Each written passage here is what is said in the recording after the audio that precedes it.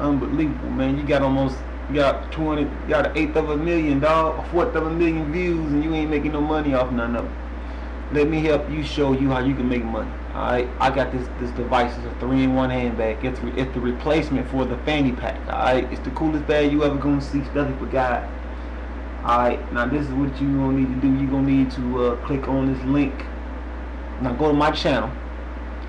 Click on the link up under my photo, and then fill the application out, dog. We can get started.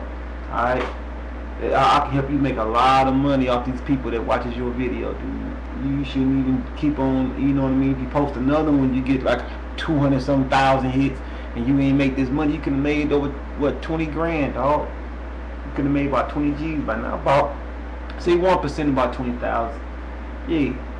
But, uh, you need to come holler at me. I'll show you how you can put a link on your on your YouTube page that'll take you straight to your channel with the directions on how to click the link. link to go to the pallet. I ship. I do everything. We the manufacturers. We the shippers.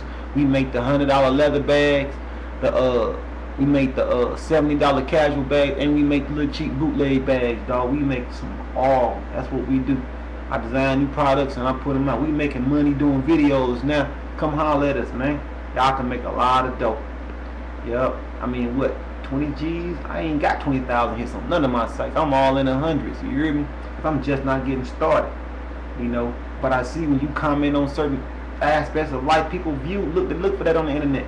They look for that, and that's who getting all the hits. That's who should be running all the commercials. That should be getting all the money.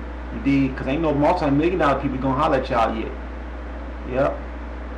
But you can do that and get money.